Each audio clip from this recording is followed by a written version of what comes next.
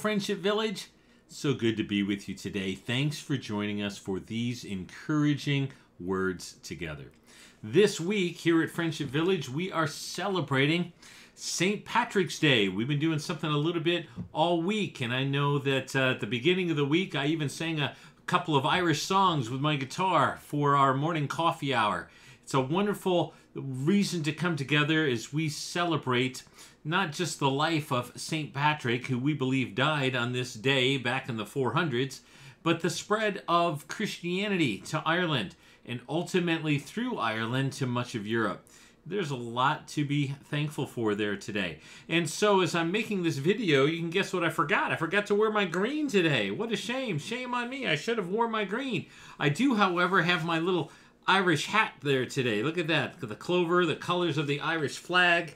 And uh, does that make me look Irish? Or does that just make me look ridiculous? I think maybe maybe the latter. I want to tie in a little bit of Irish history today to our scripture verse, but let me share the verse with all of us there first. It comes to us from Psalm 36 today in verse 9. Listen to what the psalmist has to say to us all.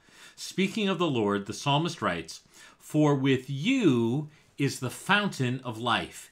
In your light we see light. Let me say it again. For with you is the fountain of life. In other words, my source, that that which gives me vitality and purpose and, and meaning, that's found only in the Lord. And then in your light, we see light. You know, our ability to see depends on uh, upon an external light source. We don't generate light. We need light to come to us.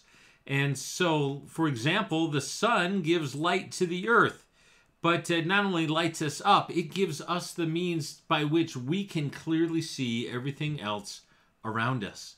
That's what the presence of the Lord does. It gives us right perspective.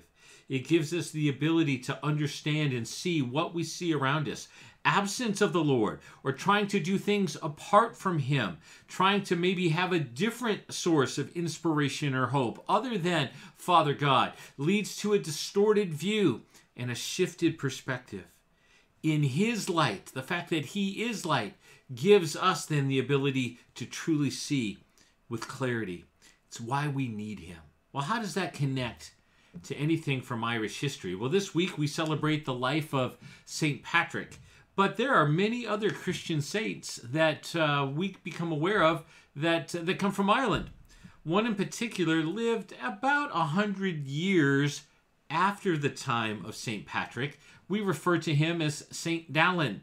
And uh, Dallan was greatly instrumental in the increased spread of Christianity across Ireland. He helped, he came, he was not a priest himself, but he was greatly devoted to the Lord, and he came alongside many clergy to help establish and build physical churches in village after village all throughout Ireland. And, uh, and because of his service and because of his poetry, he was quite a writer. Um, and because of his influence in bringing the message of redemption to the Irish people, the Catholic Church went on to declare him one of their saints, Saint Dallan.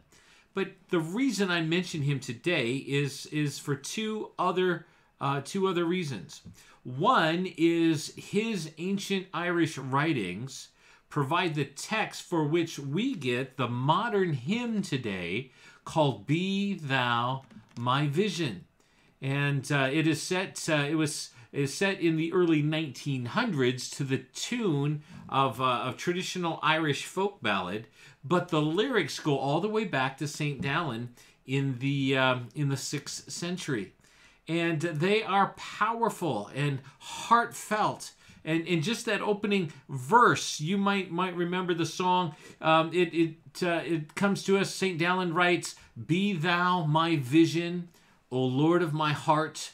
Not be all else to me save that thou art. In other words, the only thing that matters is you.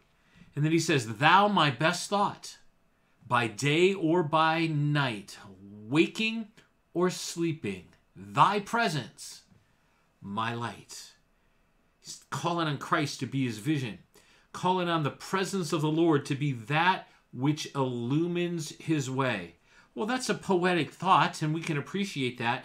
But what makes that all the more powerful is the second facet of St. Dallan's life. He was blind, he could not see. And though he went on to be a very successful in business in terms of building churches and, and getting um, you know community centers started, he uh, he out of his great devotion from the Lord became greatly known for that. But the fact that he was blind, in fact, Dallan is um, is is a nickname. It really just means little blind one. So the little blind saint is how technically what what his name means, as we call him Saint Dallan. And so here he writes as a blind man, calling on Christ, "Be my vision. Let your presence, whether I'm awake or whether I'm asleep, whether my eyes are open or closed, it doesn't matter." from one aspect in my life that's all the same. It's nothing but blackness. But there or, or, or, darkness. But but there lord your presence is what gives me light. And in his example and in the words of his fantastic hymn we remember that it's christ that gives us vision most of us can see but do most of us have vision do we have a sense of direction and clarity and trust and even when life seems confusing and we have trouble finding our way, is it the light of Christ in our life that gives us stability and focus and hope? As the psalmist says, In your light, we see light. It's because of Him that we have the ability to focus and understand and have a sense of peace and hope and direction. It's my prayer today that you would experience the light of the Lord, that that uh, this week would give us a special opportunity to draw close to Him and turn to Him and to invite the Lord to show us what is so good about His presence in His life as we read His Word, as we come to Him in prayer, as we ask for Him to lead us through various um, ways that He speaks to us throughout all the day, that we would, by His presence, have a sense of clarity, purpose, and meaning, that He would be our vision. And so, with that challenge and with that opportunity, let's come before the Lord in prayer today. Heavenly Father, we reach out to you in prayer, trusting you to be our light. Lord, the scripture is replete with examples of light, and it even tells us that you, God, in one sense, are light. You come to illumine our hearts. You come to lead us. Your word is a light to our pathway, a lamp to our feet. It's only because of your life shining in and through us that we have the ability to really see and understand and interact with one another with a sense of purpose and clarity. Come be our light today. May we take inspiration from your word, looking to you to be our light, and from the story of a little blind monk who loved you with all his heart and whom you used to continue to bring transformation all across the nation of Ireland. Work that in us. Be our peace, our hope. Give us purpose and meaning as we put our trust in you. Thank you for hearing our prayer today. In Christ's name we pray. Amen. Thanks for joining us today and happy St. Patrick's Day. I don't know if you'll see this video actually on St. Patrick's Day or not, but it'll be close. And uh, I hope you've had a, a wonderful day. Thanks for tuning in. Here at Friendship Village, we're doing our best to show you these videos three times a day.